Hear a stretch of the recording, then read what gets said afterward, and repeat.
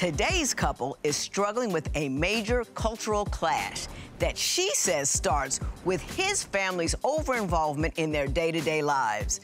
To save his marriage, he'll need to put the mother of his children in front of his own mother. Let's see which woman in his life will win first place. Divorce court is now in session. The Honorable Judge Lynn Toler presiding. Good day, ladies and gentlemen. I'm here today with Tereca Cruzado and Manuel Cruzado. Mr. and Mrs. Cruzado, you've been together for five years, married for four. You have two children together, but you are in a bit of trouble right now. So, Ms. Cru Mrs. Cruzado, I'm going to start with you. Why don't you tell me a little bit about your marriage and why we're here today? I, I love Manny. Mm -hmm. I truly love Manny. Um, there's not a day that goes by that I don't. However, before I met Manny, I was very determined, goal driven. I was strictly work, school, career, getting ahead. I didn't let anything phase me. Um, when I met Manny, he was a high school dropout. He didn't, he didn't have much of anything. And I completely lost the focus of myself and the tunnel vision that I had. And I indulged myself into him to help him basically with everything that he has now. Like I devoted myself to him. Did you stop doing things for yourself? I did. I stopped doing things for myself. Tell me what you stopped doing. Um, I, I, just stopped being myself as a person. Like, of did you stop going to school? Yes, you... I stopped going to school. Uh, I was still very hardworking, but I did stop going to school. Um, I completely changed the way I dressed, talked, even down to the way I cooked. Are you resentful about that? Um, no, because I mean I loved him. So whatever worked, you know, it worked. I don't I don't hate that I changed it, but I wish I just would have talked with him about it first more instead of just completely changing myself mm -hmm. so mm-hmm. that way he could actually understood and see me, the real me from the beginning. Okay. What do you say is the problem in your marriage now? The biggest problem that I have is, of course, Manny's a mama's boy. A huge, huge, huge, huge mama's boy. Give me some um, examples. For example, um, we needed money for something. And I wanted him to get out there, hustle, go get it. Like, I'm mm -hmm. your mm-hmm. wife. When, when it comes time, I'm gonna go get it. So I need you to do the same thing.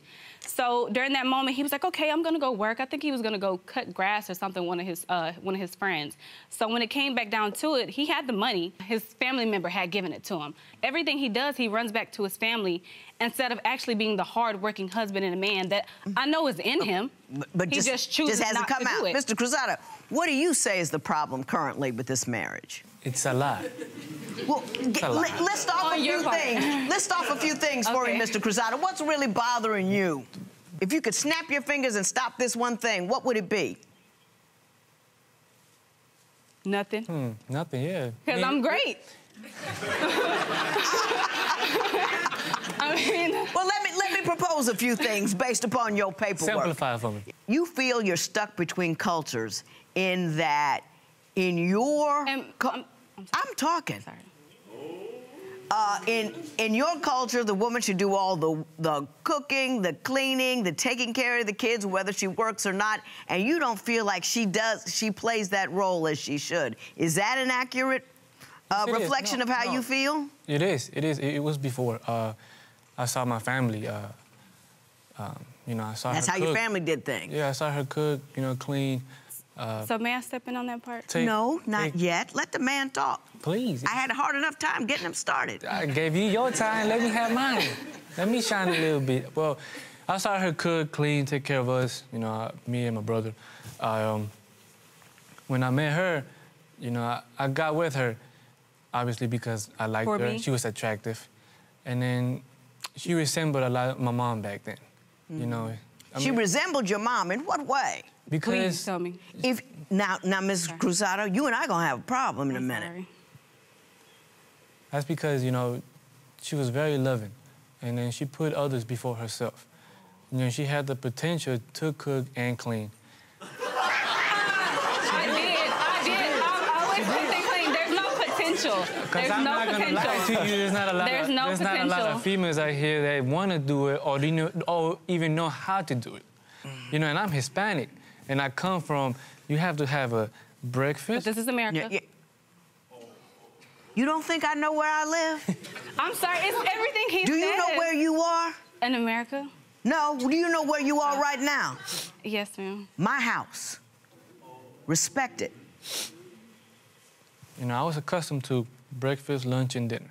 Mm -hmm. And where I messed up at is, I saw, again, my family, my dad worked a lot provided with money, you know, took care of us with a roof. I got you, and, and- I understand your history. My question is, do you expect that same household structure to be, to be carried over into this household? Yes, I did. Okay. And my problem was that it, it happened too fast. That I wanted it too fast. I didn't take things slow. So when we got You married- think that's how it should ultimately turn out? Yes, ma'am. Okay.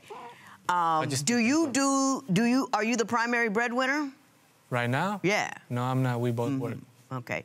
So you want her to fulfill all of the old-fashioned uh, requirements of a woman while handling the requirements of the man as well. Well, before, yes, we were talking about the beginning. Like I said, like he said, I was, I didn't have no means to work. I worked with my dad at times, and um, he's a very hard woman, a man to work with.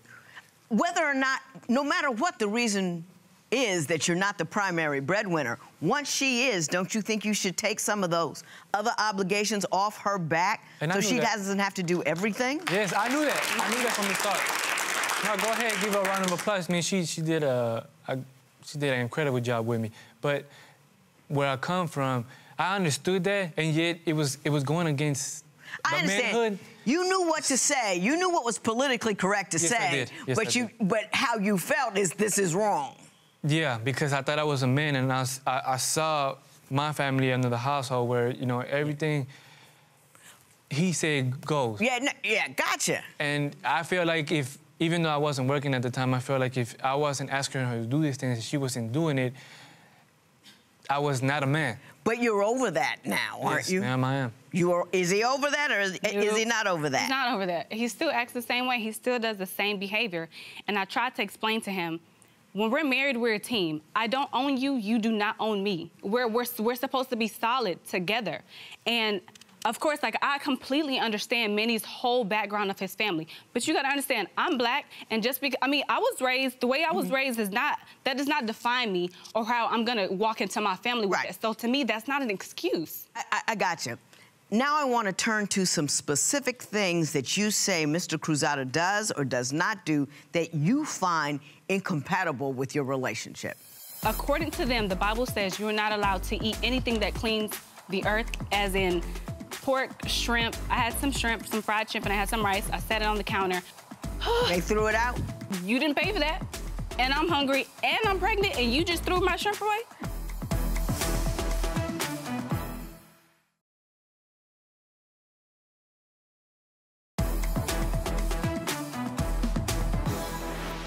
You called his family Bible thumpers. And you and you say that their way of doing business, what they're not allowed to eat, what you two can't do, you you find that disconcerting. Why don't you tell me about that conflict? So his parents, their religion is Seven Day Adventist. Of course, that's Manny's beliefs too. He was raised with that. No problem. So there was a particular time um, we were staying at his parents' house. I was pregnant at the time with my uh, my first son, and according to them, the Bible says you are not allowed to eat anything that cleans the earth, as in pork, shrimp, nothing of that nature. I had some shrimp, some fried shrimp, and I had some rice. I set it on the counter. Me and Manny, we went upstairs and we were just going to have a conversation or something. His parents came down home from church. So, of course, you know, when they come down, we go talk to them and, you know, socialize a little bit. So, I'm, you know, I'm pregnant. I'm looking, okay, we're going to go talk. I'm ready to go eat this, this shrimp. I get downstairs. I left it on the counter. they threw it out. His threw it in the trash. So I'm looking like, okay, well, is it in the fridge? Where's that? So his starts yelling at him. And I'm like, hold up, hold up. You didn't pay for that. And I'm hungry and I'm pregnant and you just threw my shrimp away? Okay. So yeah, I, I, I'm with you, Ms. Cruzado. Can I say this? You knew how you knew whose house you were going into. You said you respected it, but then you disrespected it by bringing something in that you would. You, th- there's other things you can eat. You don't have to. You know, what I mean, oh, I'm at his presence house. They don't like this. I'm gonna bring this to eat it. Yes, Not that. That's but, grown woman. But see, he's never done that before because he understood, okay, I, he understood, you know, tere, they call me tere. The where you are is the way you are. So we love you. We're going to accept you for that.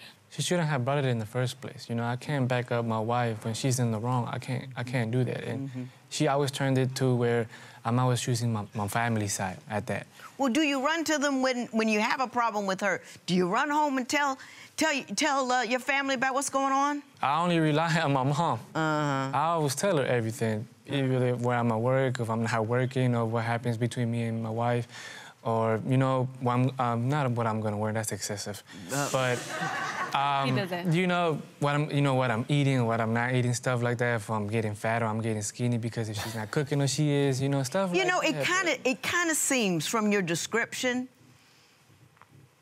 that she's the main chick in your life and not her. So basically, I'm a mama's boy. I'm saying what you described to me Eh. is I go to her with my problems. I go to her to decide whether or not I'm eating too much or not. I go to her to find out if I'm too thin. I go to her. Everything you say about all the things you consider, you take to someone other than your wife. That's that true. would make her primary over your wife. Well, absolutely, I, I I agree, but that was maybe, it was worse in a in a few years of our marriage. It was worse. But you've gotten better. I gotten better at it. Yes. Has he gotten better? No. So go. He sneaks and be like, I have. Yes, I uh, have. and he's- Yes, I I can have. catch him in the closet, and he's like, "Oh, uh, who are you talking to? Oh, nobody just on my phone. I'm just talking to you." I got you. I got you. Next, I want to talk to Ms. Cruzado. You say your husband is always trying to get out of work. Yes. So tell me about that. He act like he fell out from the heat and couldn't feel his limbs from his neck down. So he's calling me on the phone like, "Babe, I just passed out from the heat," and I'm like, "So how are you talking on the phone?"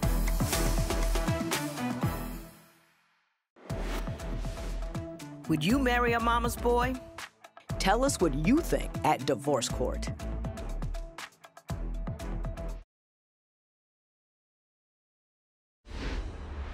So, Mrs. Cruzado, you say Mr. Cruzado is always trying to get out of working. Explain that to me. Yes, Manny can never really hold a job for two months. He's gotten better now, yes, but still, he still does excuses to get out. He was cutting trees with a, uh, just a member of the church, making pretty good money.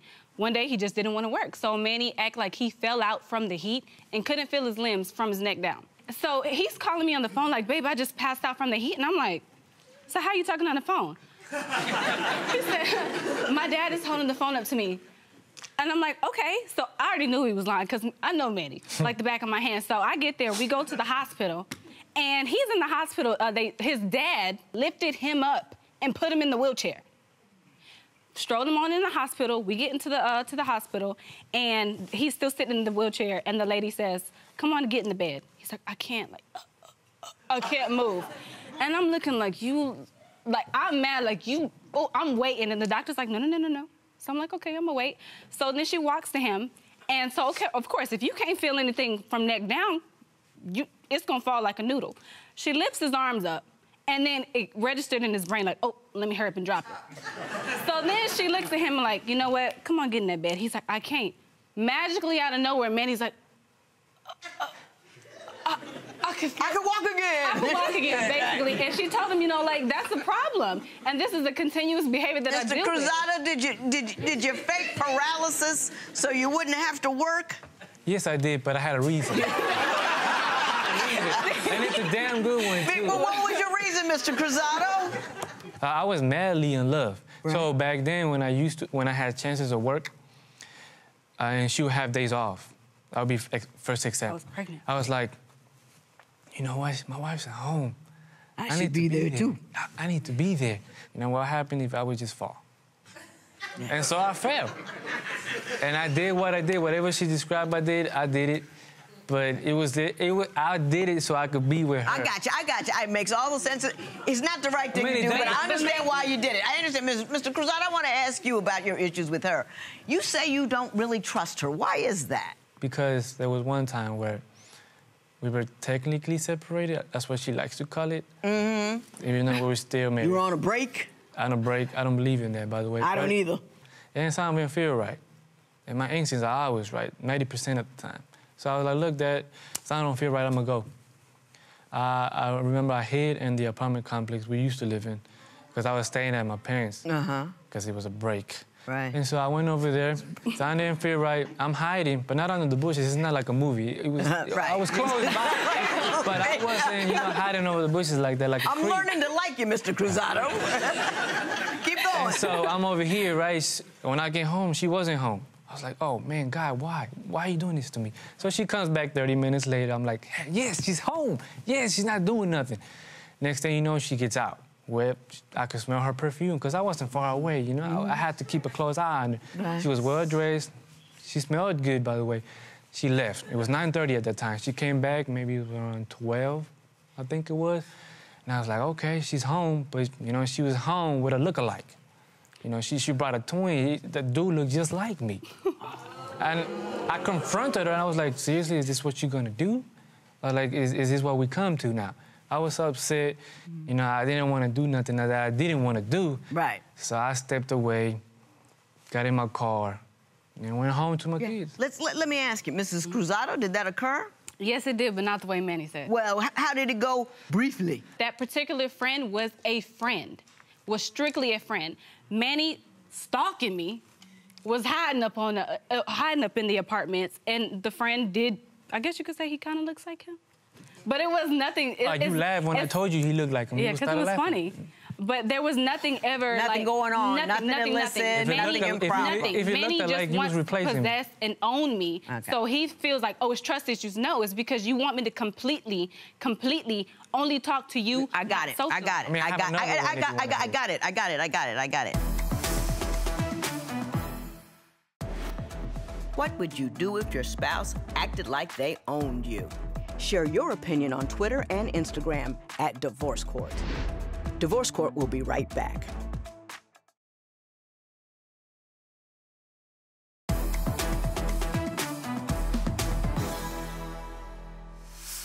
Let me tell you what happens when you get married for a while. All of the the glisten and glow falls off, and then you got to work at keeping the romance together. Yeah. It, it, and and and the, and those initial hormones they die down, and then you got to put some effort into being that couple again.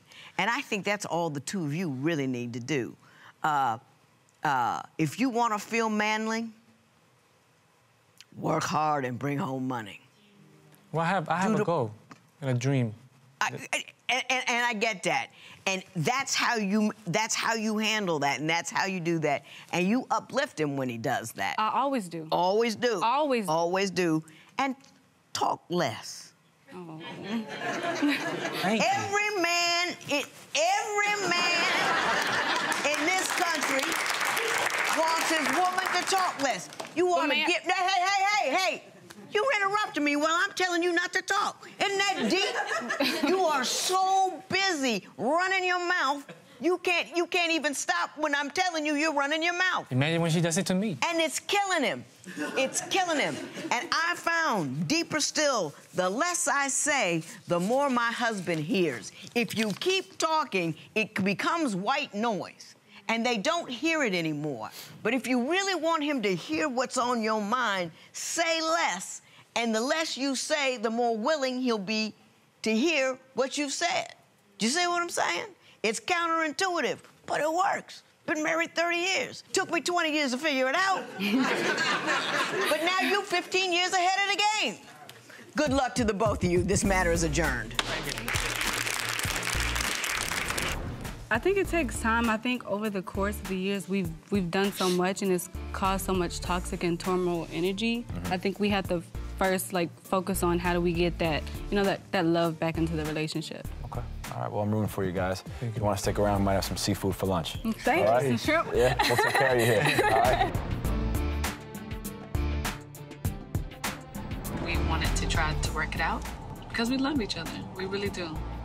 Yeah, trying to uh, put her first and um, not trying to be a mama boy no more.